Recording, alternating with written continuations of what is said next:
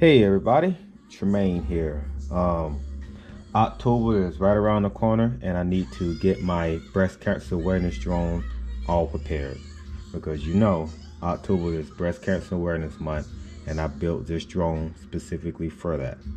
But there's a lot different with this drone for this year. Um, I changed the frame, the motors, the propellers, the camera, just a total different setup than last year. I'll um, post some of my last year videos of breast cancer awareness drone in the link and in the corner. So let me run y'all through what I got so far, starting from the motors. These are XING uh, 2306 2450 kV and the propellers are four inch propellers these are the GN, uh, the Gemfan uh, wind dancers 4023 I know some of the professionals out there probably wondering why I got such a low pitch uh, four inch prop and a low kV motor. Uh, this this is I'm going for efficiency. So um, with the low kV and low pitch four inch props I should be able to fly for a very long time with this particular drone and I'm not looking for so much power but I hope it's not too weak to where you know I have to really jam the throttle to get it to move. But at that point that'll be all experience based but if it's not flying the way it should I'll go back to um, a five inch or better yet get a four inch uh, bigger four inch propeller like a 40 53 or some shit moving to the frame I have the iFlight uh, something five I can't remember but this is one of the uh, newest iFlight frames. This is this was built for the HD version but I got the analog system in here because I don't want to put analog in all my drones. Y'all know I got about 21 drones and um, to put digital and all of them it'll cost a pretty penny. So I'm going to keep this one um, analog and see what happens. The only HD drones I want to have is my GPS drone and my Cinewhoop so I have three HD drones so far including this little guy. We'll talk about him later. All right so that's the frame and i have a predator 5 um analog camera. And that's pretty much it. The guts i changed from the old frame to the new. And um yeah probably sometime this week i'm gonna do a flight video and uh let y'all check it out. But yeah breast cancer awareness drone aka pinky is new and improved. Hopefully these propellers work out. If not, we'll just simply change it. All right, moving on.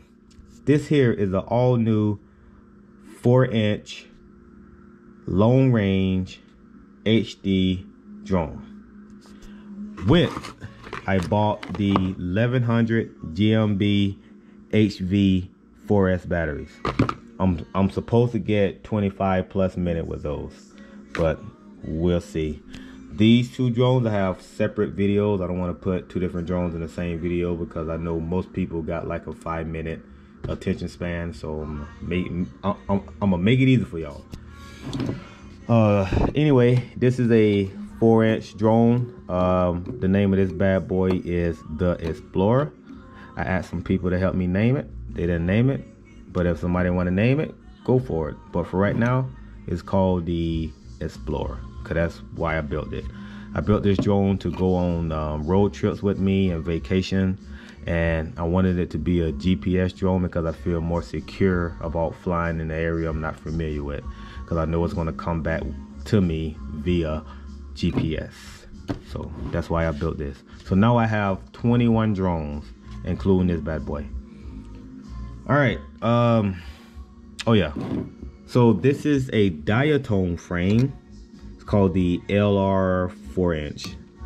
And I have the um, Polar HD system in here.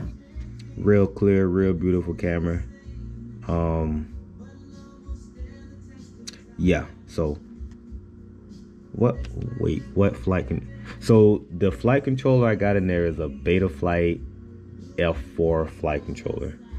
I know a lot of y'all don't know what the hell that mean, but yeah, it's a Beta 4. I mean, the Beta Flight F4 flight controller, and it's a uh, I think it's a 30 amp ESC, four in one.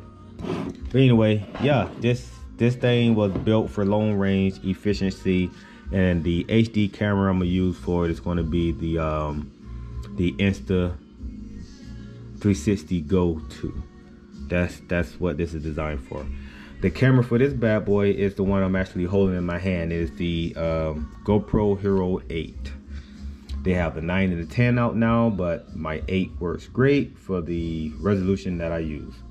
So yeah, these will be up in the air soon. Y'all stay tuned. Oh, wait. So I like to, um, if I'm gonna do videos where I'm just basically talking, I wanna give a shout out to my favorite brewery. Well, one of my favorite breweries, Toppling Goliath, based out of Decorah, Iowa. This is a 5.8 uh, alcohol level pale ale. This is a very good beer if you just wanna sit back, relax, and have a beer. Something that won't get you fucked up like a IPA will. Um, just something different. You know, it tastes good. It's real good. Way better than those Trulies and shit like that. I don't drink those. Yeah, if I want a light beer, I want it to taste like this. Any hooks. That's my opinion. But yeah, y'all stay tuned. Train to train. Over and out.